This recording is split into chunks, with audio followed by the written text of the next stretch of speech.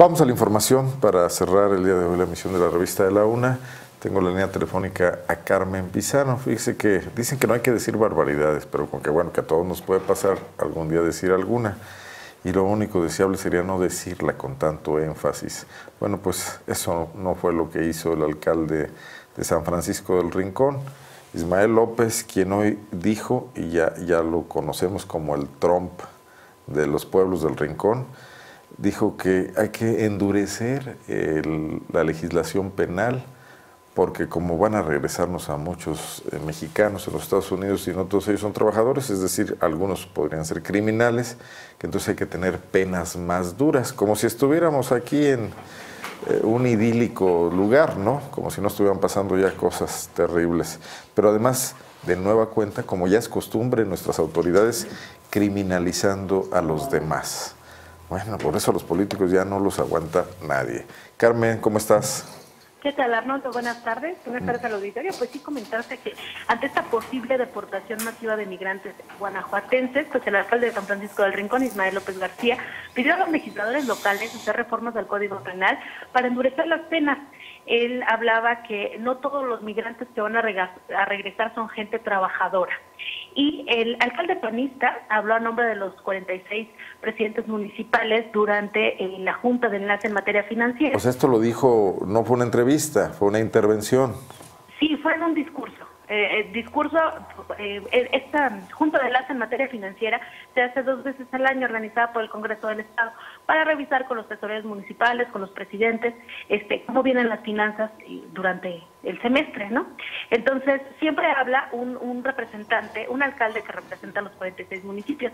En este caso se le dio el uso de la voz a Ismael López García y él hablaba de la complicada situación económica por la que em, se atraviesa en México y mucho, mucha en gran parte, bueno, la, la, responsabilidad es eh, por las políticas que ha emprendido el presidente estadounidense Donald Trump y una de ellas pues, es la migratoria que aunque se comentaba también el secretario de Finanzas, Inversión y Administración Juan Ignacio Martín Solís que todavía no hay una deportación masiva, se están registrando los los niveles que, se venían en años anteriores, bueno, pues sí hay que estar pendientes del posible regreso masivo de guanajuatenses. Y bueno, en este sentido es que Ismael López García pide a los diputados locales que se em, reforme el Código Penal, que se hagan penas más severas, porque él asegura no todos son trabajadores, no todos vienen a trabajar.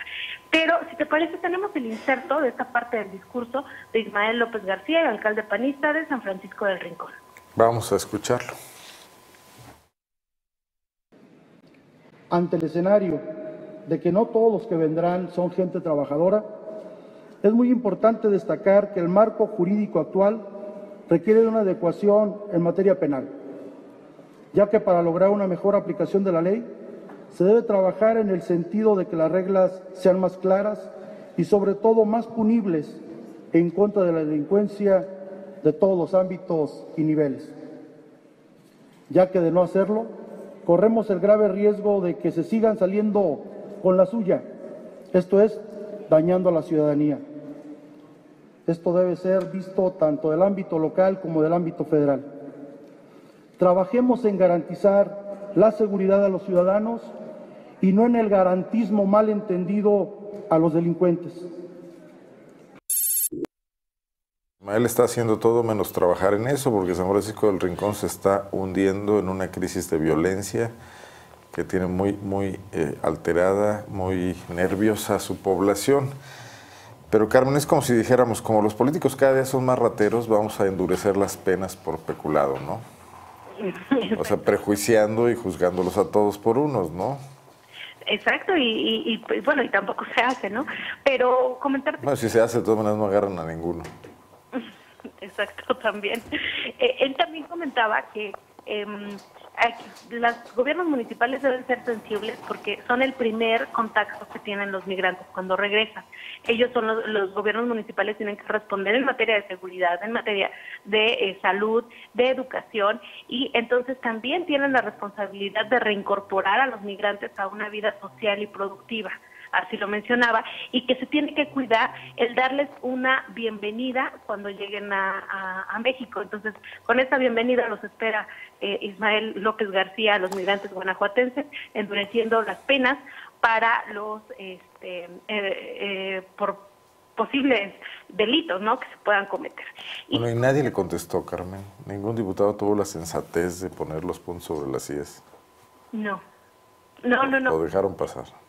Sí, en el resto de las intervenciones, bueno, pues eh, la Junta de Nacionalidad Financiera, pues sí se habló de la eh, complicada situación económica que se avecina y mucho tiene que ver, bueno, pues las políticas del gobierno de Estados Unidos y, por ejemplo, los llamaban a ser em, mm, responsables con el uso de los recursos públicos, a tomar medidas de austeridad, lo que cada Junta de las Materia Financiera se les recomienda a los este, a los alcaldes. Y este y bueno, eh, de manera general comentarte que eso sucedió el día de hoy en la Junta de Nacional Financiera. Eh, también estuvimos platicando con el secretario de Finanzas, Inversión y Administración, Juan Ignacio Martín Solís, que hoy habló de diversos temas. Poco. Hoy no estaba fónico. No, hoy no andaba fónico. Oye, sí, sí tenía voz para decirles a los municipios que, a los alcaldes, a los alcaldes presentes que por favor no presionen a sus tesoreros este, que pidiéndoles más dinero, porque luego por eso al final del año están pidiendo adelanto de participaciones porque ya no ya no completan para, para poder hacer el cierre del ejercicio fiscal. Entonces, que no presionen a sus tesoreros, que los dejen llevar medidas de austeridad. Y comentarte que en esta Junta de Enlace en materia financiera también destacó la ausencia de los municipios. Por ejemplo, comentarte que llegaron nada más 34 de los representantes de 34 de los 46 municipios, alcaldes hubo muy pocos, hubo como cinco, estuvo el de San Luis de la Paz, estuvo Ricardo Ortiz de Irapuato, estuvo, ay, oh, ahorita ya no Ismael de, San Francisco del Rincón, no se me vienen más a la mente, Arnoldo, pero este, fueron muy pocas la parte. Desairado. ¿Sí? Desairada la Junta, la reunión, ¿no?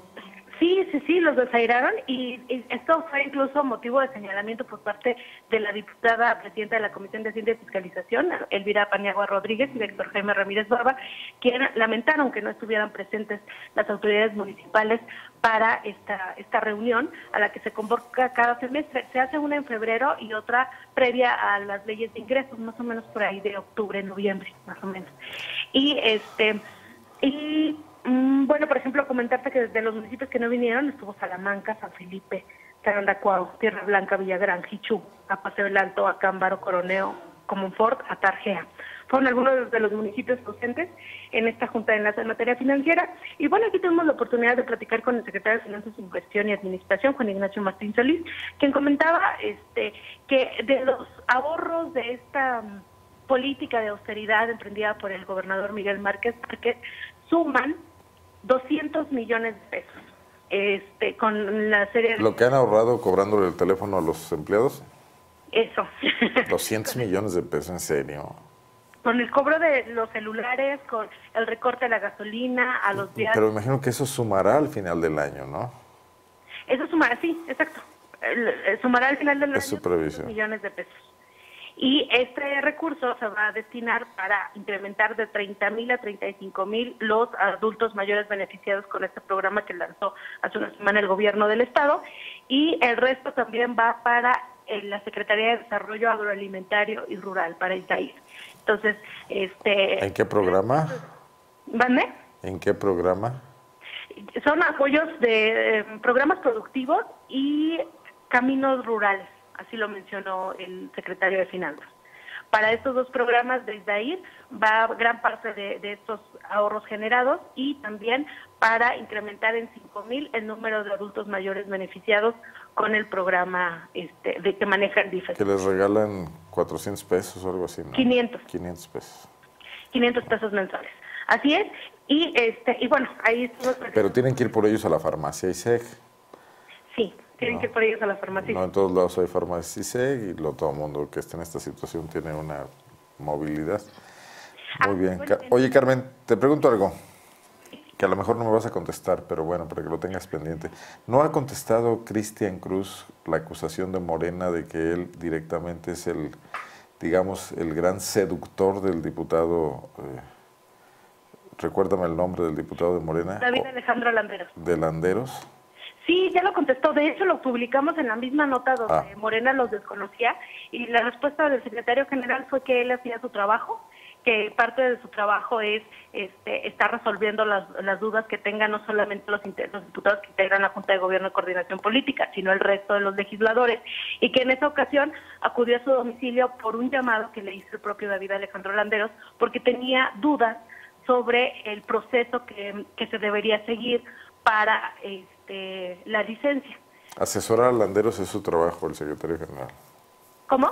Asesorar a Landeros entonces es parte del trabajo del secretario general, Resolver las dudas del, del que al final de cuentas no pidió licencia. A lo mejor lo convenció él. Bueno, muy bien. Carmen, ¿algo más? Sí, rápido te comento que después de casi tres horas, a ver, sí, bueno, más de dos horas de reunión de la Junta de Gobierno y Coordinación Política y lo que se ve que hubo jaloneos, ya quedó la terna para el Contralor Interno del Congreso del Estado. ¿Quién va a ser el Montero del de la Contraloría? Eh, eh, La terna la integran Fidel Martínez, Daniel Anguiano y Rafael García Ríos. De los que yo recuerdo, mm, bueno, eh, espero no equivocarme, Daniel Anguiano es, es actualmente trabaja en ASEG, en el área de mm, organ- organismos públicos en auditoría.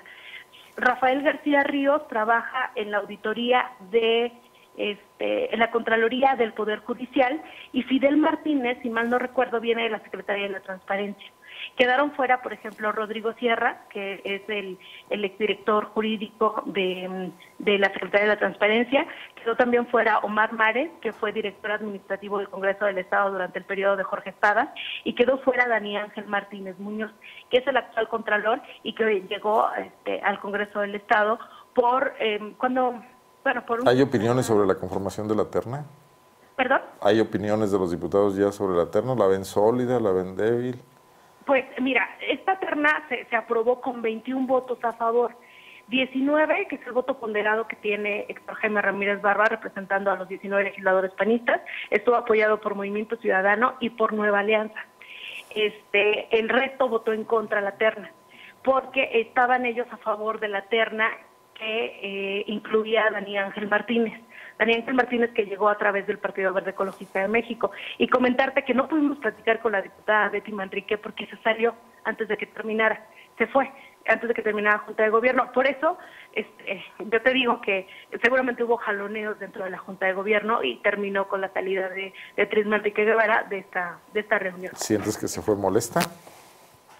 Es que yo no la vi salir. O sea, cuando, cuando llegamos al salón ya ella se había ido. Pero regularmente ella es de las que se quedan hasta el final de la reunión, ¿no? Muy y bien. ahora este, salió antes de que antes de que concluyera y este, y eh, todos estuvieron este, bueno, esta terna propuesta por el PAN eh, fue avalada por Movimiento Ciudadano y Nueva Alianza. Lo interesante, Arnoldo, que viene es que para que pueda ser aprobado un contralor por el Pleno, tiene que tener 24 votos. En este caso, la terna está respaldada por 21 votos. Le faltarían todavía tres para poder elegir a uno de, a uno de los tres candidatos que están este, en, en la terna. Y en caso contrario, si el PAN, perdón, si el PRI, si el Partido Verde, si PRD y Morena no votan por alguno de ellos, eh, se puede venir abajo la terna de el primer contralor que sería este, electo a través de este nuevo sistema que encabeza este, o, o que se rige bajo el sistema estatal anticorrupción. Bueno, ¿esto cuándo ocurrirá? Perdón, mañana hay sesión porque el jueves es el informe del gobernador Miguel Márquez Márquez, la sesión se corre para mañana. Entonces, por las por las prisas no van a subir la terna porque dijo Héctor Jaime que quieren que los 36 legisladores revisen bien este Y más tiempo para negociar. ¿Perdón? Y más tiempo para negociar para Héctor, Héctor Jaime, ¿no? Claro. Entonces, posiblemente sea la- el próximo jueves, pero todavía no hay fecha definida. De la semana próxima. Exacto. Ya el jueves 9 de marzo. Carmen, muchas gracias. Gracias, Arnoldo. Hasta luego. Pendientes. Bueno.